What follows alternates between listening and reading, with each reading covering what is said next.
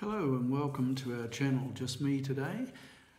I've been a member of the XJW Reddit community for about four, maybe four and a half years now, and I've seen the numbers grow there from about 4,000 to over 40,500 as of today. I'm quite uh, involved on the forum and uh, I find it very good for helping people. There's a lot of new ones coming, as you'd imagine, with over 35,000 people joining in the last few years.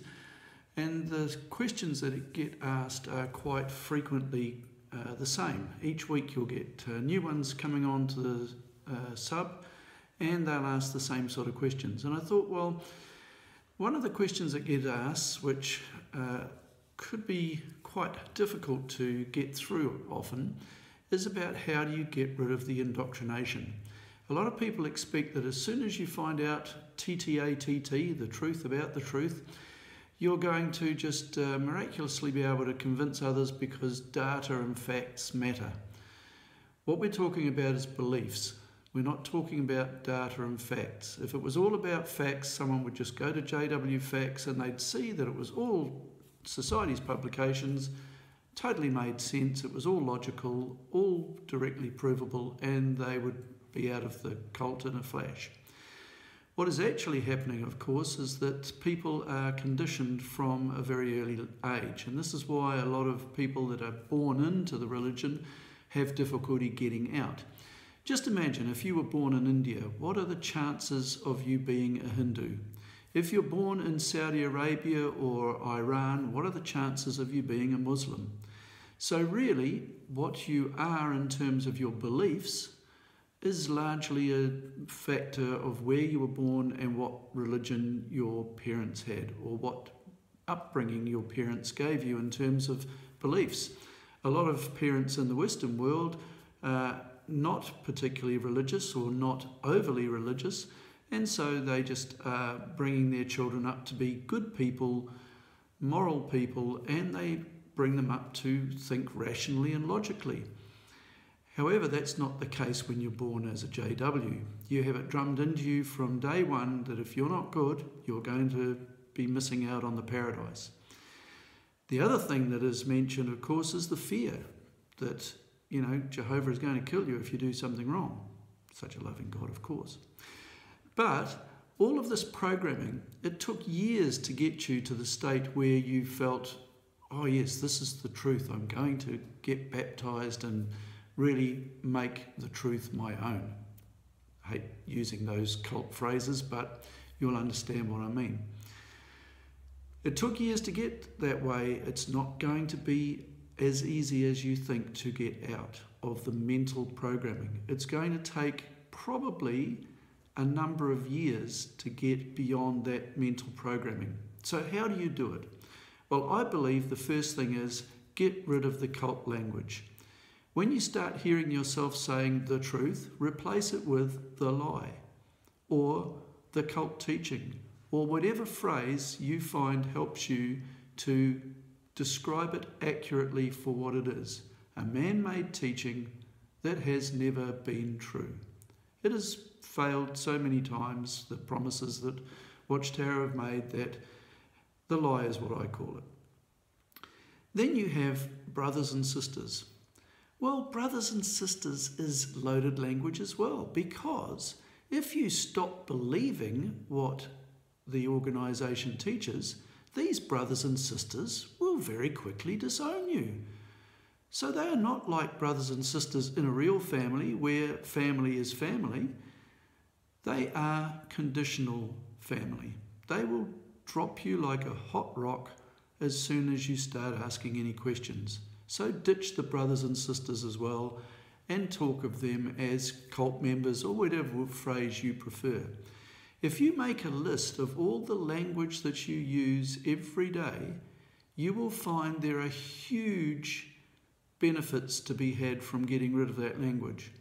Watchtower uses language very cunningly. Here's an example.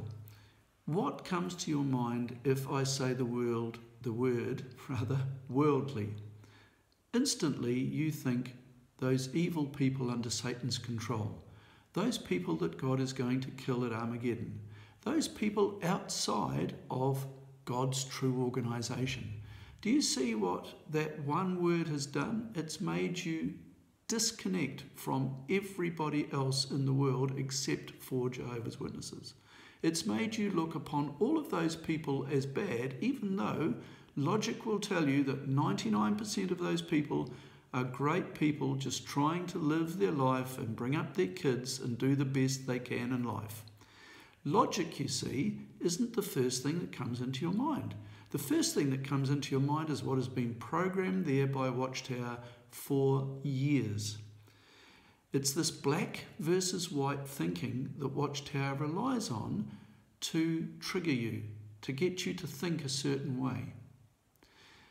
Likewise, if I said the word elders to you, what would be your thought?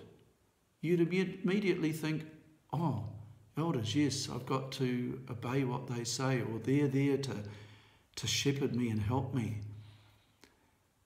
If I said enforcers to you, you'd have a completely different viewpoint. But that's what really elders are they're enforcers. The CO, circuit overseer, oh, doesn't it sound nice? He's just an enforcer to enforce the governing body's rulings on the elders.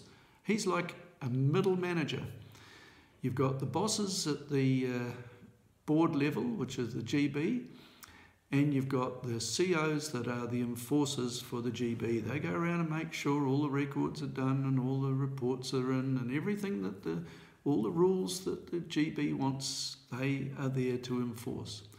And elders get quite scared when the CO is coming because they know that's what happens. So, my first point is remove the mental programming by getting rid of the language. The second thing, and this is something that seems to me very, very obvious, but a lot of people have a great difficulty with it. Depression and feeling depressed feeling down, never feeling good enough is what is common amongst Jehovah's Witnesses. They are made to feel this way because it's only if you don't feel good enough that you're going to try harder to get into the new system. So basically, it's guilt and fear that is being used to prod you along and get you doing what Watchtower wants you to do, which is to give up your life for them, to donate all your money to them, and to spend all of your time focused on what they want you to focus on. So, if you can stop going to those meetings, you will remove a massive source of that feeling of not being good enough. I can remember the first meeting I went to after I woke up, and I sat there and I thought, I can't contain myself any longer. I'm going to get up and shout out, This is all BS and I'm out of here. But I managed to contain myself and stuck out that meeting. The following week, the only way that I could actually get through that meeting was to take my iPad and read Crisis of Conscience during the meeting. And that was the last meeting that we went to. Meetings are part of the indoctrination process. If you are feeling down and you stop going to meetings, you will feel guilty because that's what you've been programmed to feel. But you will feel so much better the more meetings you miss, the better you will feel, as long as you replace that indoctrination with rational thinking, proving to yourself that you're not going to be looked down on for missing a meeting by that invisible sky daddy upstairs. You can rationalize all you like about the things that Watchtower is teaching you, and you will find they are all depressive.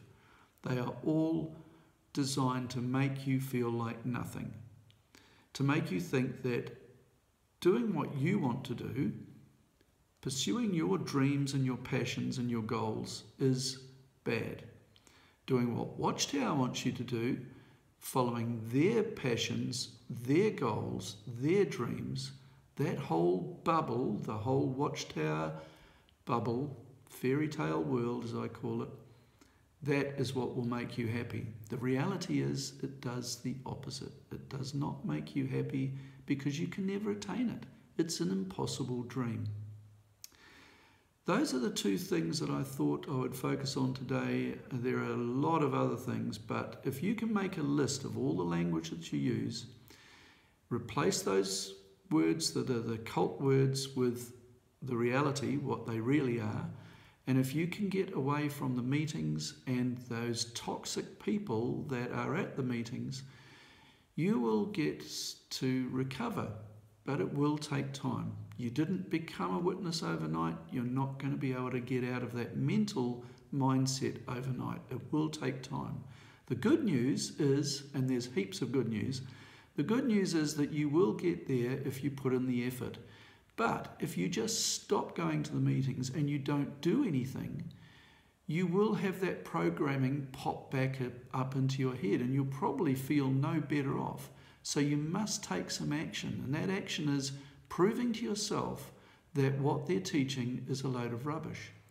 When you can see through their publications and you can read a paragraph and can spot all the trigger words, you can spot all the guilt tripping, all the fear, all the circular reasoning, all the straw man arguments, then your eyes are just opened and you see it for what it is. It's a high control cult that uses fear, guilt, and obligation to control you. So if you enjoyed this uh, video, please click the like button, subscribe because uh, you'll get an, uh, advice of uh, future videos if you click the bell below. And I look forward to talking to you in our next video. Thank you for watching.